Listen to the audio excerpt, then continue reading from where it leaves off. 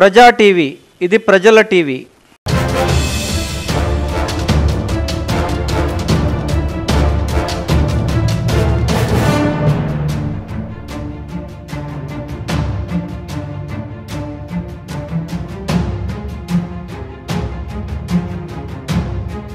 BTV ప్రేక్షకులకు నమస్కారం.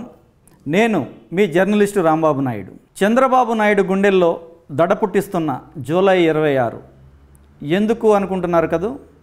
July ఇరవై ఆరున కిర్లంపూడి నుండి అమరావతి వరకు నిరవధిక పాదయాత్రను ప్రకటించారు ముద్రగడ పద్మనాభం. ముద్రగడ పద్మనాభం పేరు చెప్పగానే ఆంధ్రప్రదేశ్ ప్రభుత్వం చంద్రబాబు నాయుడు ఉలిక్కిపడడం ఖాయం. ఎందుకంటే గత మూడు సంవత్సరాలుగా కాపు సామాజిక ఉద్యమ నేత ముద్రగడ పద్మనాభం చంద్రబాబు నాయుడికి ఆంధ్రప్రదేశ్ ప్రభుత్వానికి కూడా కంటి మీద కునుకు లేకుండా చేస్తున్నారు. తనదైన ఉద్యమ శైలిలో ముద్రగడ పద్మనాభం.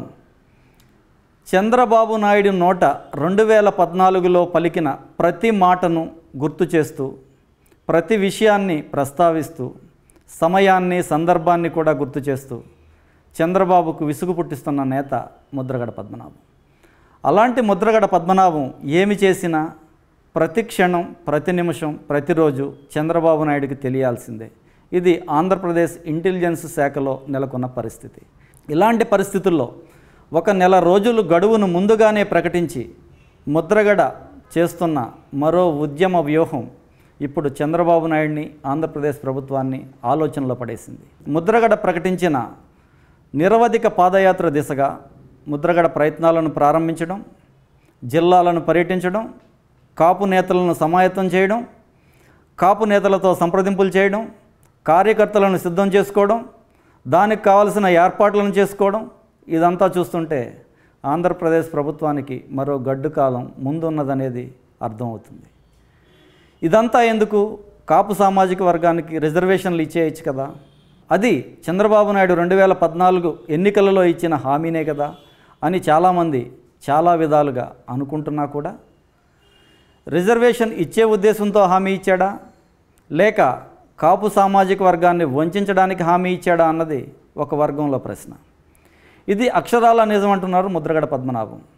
మూడు సంవత్సరాల గడువు పూర్తయినా కూడా నిజంగా చంద్రబాబు నాయుడుకి చేయాలనే చిత్తశుద్ధి ఉంటే ఇప్పటికే ఆయన రిజర్వేషన్లు ప్రకటించేవాడని.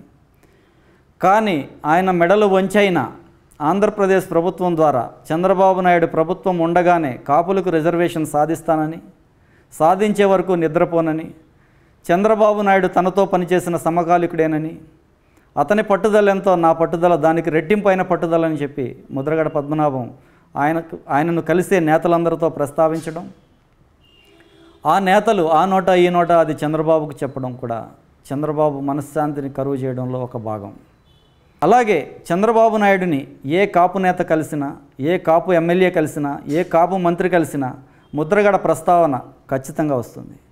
ముద్రగడను నిలువరి నిలువరించమని కాపు సామాజిక వర్గాన్ని తమ వైపుకు తిప్పుకోమని చంద్రబాబు నుంచి సలహా కూడా ఖచ్చితంగా వినిపిస్తుంది. ఇలాంటి నేపథ్యంలో జూలై ఇరవై ఆరున ఏం జరగబోతుంది? అక్కడికి ప్రభుత్వం ఎటువంటి చర్యలు తీసుకోవాలి? అసలు ఈ పాదయాత్రను అనుమతించాలా వద్దా? అనుమతిస్తే వచ్చే సమస్యలేంటి? అనుమతించకపోతే వచ్చే సమస్యలేంటి? ఇప్పటికే అధికారులను కసరత్తు చేయమని ఉన్నతాధికారులకు ఆదేశాలు కూడా జారీ అయినాయి. సాధ్యమైనంత వరకు ముద్రగడ పద్మనాభాన్ని ఈ పాదయాత్ర చేపట్టకుండా ఆపేలా చూడమని కొంతమంది నేతలకు కూడా ఆదేశాలు జారీ చేయడం జరిగింది.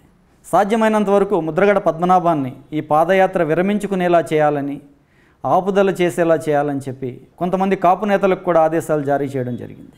ఇలాంటి పరిస్థితుల్లో కాపు సామాజిక ఉద్యమ నేత ముద్రగడ పద్మనాభం చేస్తున్న ఉద్యమం ఏ దిశగా పయనిస్తుంది? ఎటువంటి పరిణామాలను తీసుకొస్తుంది? అది ఆంధ్రప్రదేశ్ రాష్ట్రం ఏ విధంగా ఎదుర్కొంటుందనేది మనం వేచి చూడాల్సిన అంశం. సో ఇదండి చంద్రబాబు గుండెల్లో దడ పుట్టిస్తున్న జూలై ఇరవై ఆరు అంశం. ముద్రగడ తలపెట్టిన నిరవధిక పాదయాత్రను ప్రభుత్వం అనుమతిస్తుందా అనుమతించదా అన్నది మనం వేచి చూడాల్సిందే. ఓకే ఫ్రెండ్స్ మీకు గనక ఈ వీడియో నచ్చినట్లయితే మన ఫ్రెండ్స్ అందరికీ షేర్ చేయండి మీ ప్రజా టీవీని సబ్స్క్రైబ్ చేయండి. ప్లీజ్. ప్రజా టీవీ ఇది ప్రజల టీవీ.